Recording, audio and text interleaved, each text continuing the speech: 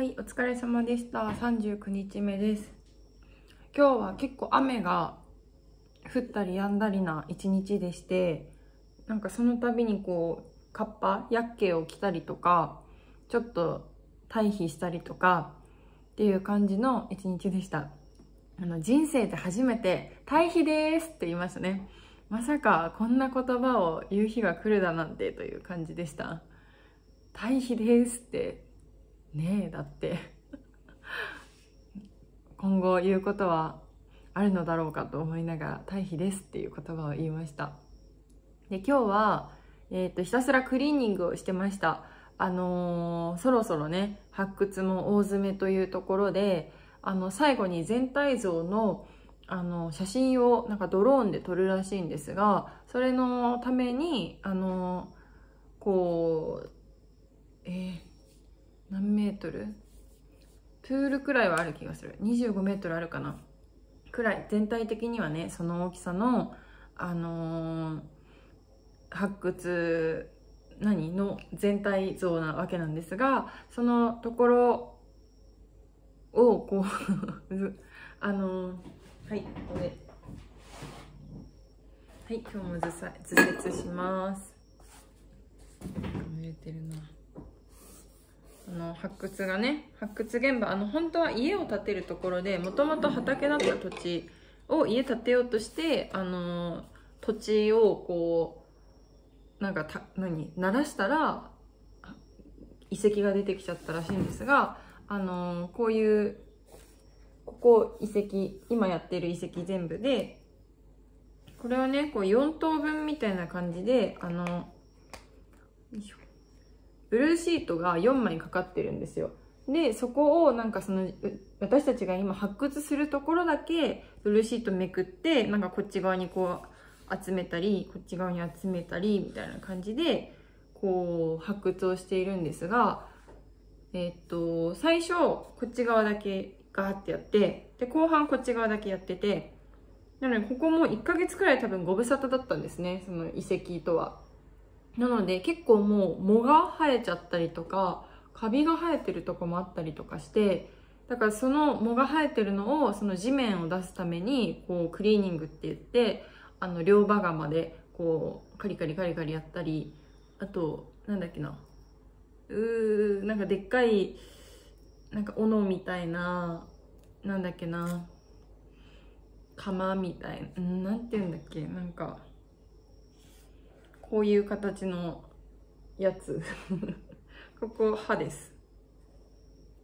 こういう形の何かを使ってあの違うよね。これじゃ通じないんだな。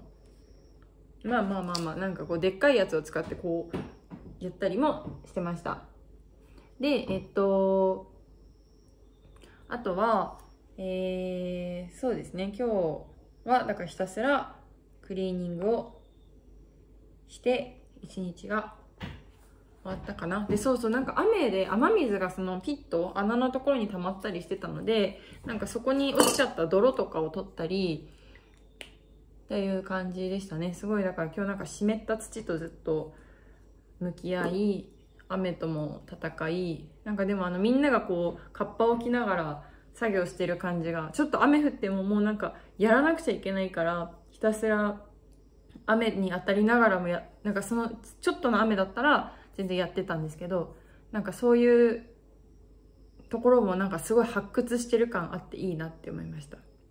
あとですねなんと今日はこちらこれをねとなんか私お昼休憩してて眠くてなんこうやって寝てたらさあ時間だって思って行こうとしたらあの車のトランクになんか物とか置いてたからそこ行ったらトランク開けっぱなしにしてたんだけどそしたらこれがそっと置いてあってこれはって思ったら「あこれいっぱいもらったから食べて」って言ってお裾分けをいただきました。これはですね冬瓜冬瓜とちくわと油揚げが入った煮物みたいなさっき食べたけどめっちゃ美味しかった。もうなんか本当にこういうお裾分け文化が本当にありがたい。もう貧困だしあのーね何もなんか料理とかも全然できないのでマジでありがたい。本当にいい場所いい人たちと共に暮らしているっていう感じです。ということで、えどうしようかな。今日ちょっと最近エンタメ要素があの 少ないなってちょっと思ったのでエンタメ要素を増やそうかと思ったんですがどうしようかな。まあちょっと紹介しますわ。あの私今ね断捨離をすごいしてましてもうねゴミが出る出るここあの私の物置和室なんですけど本当に汚いんですがこれ全部捨てる本ねはい。ということで、捨てる本の紹介をします、私は。なんそれって感じですけど。あの、本の、えっ、ー、と、ラインナップ、こんな感じですね。あの、この辺は、あの、デザインとかね。なんかあの、ウェブデザイナーをやってたことがあるので、その時のなんかデザインを勉強したかったやつらとか、あ、そう、あと、これは多分ね、企画、ちゃんと出そうね。はい、企画、新企画は、あのー、あれです。えっ、ー、と、ラジオの会社に、で働いてた時に、企画力が欲しくて買ったやつ。あと、これいいですね。お金のいらない国買いました。これは、えー、もうお金がない時期が私には3年前にも1回やったかな。今もないし、3年前にも1回やったんだけど、なんかそれが辛すぎて、お金のない国って何？って思って買いました。で、この流れで言うと、これもだね。これもおもろいわ。はい。なぜ働くのか。これは、えー やば。これもね、もうなぜ私はこんなに働かなくちゃいけないんだ。なぜお金がないんだ。もうね、本当にお金がないってずっと言ってます。なんで働くんだろうって思って買ったんですが、なんかこれね結構古い本で、なんやかんや難しかったんだよね、多分。え、古くないや、2007年の本だわ。なんでこんななんか、貫禄ある感じになってるんだろう。これはね、結局全然覚えてないので多分読んでないんだと思います。あとこれね、人たらしのブラック心理術。え、これ、もらったか、古本屋で買ったかしたんだけど、人たらしを、あの、極めようと思って。これも多分あの、ラジオ局で営業してた時代に、人たらしで私は営業を取るって思って、多分買ったやつですね。初対面で100%好感を持たせる方法。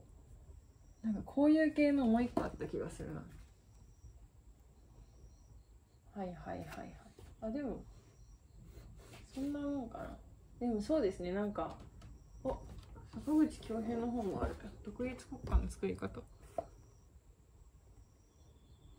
いやこれ捨てようと思ったけどちょっと読みたいなえでも読みたいなで残すと結局読まなくってしかも私はあの本を買うと結局こうなってなんか何も管理ができないからしなんか物が増え増えちゃいけないっていうのは本当に思ったのでちょっとね悩むよね。なんか Kindle 派にしようかなってすごく思っています。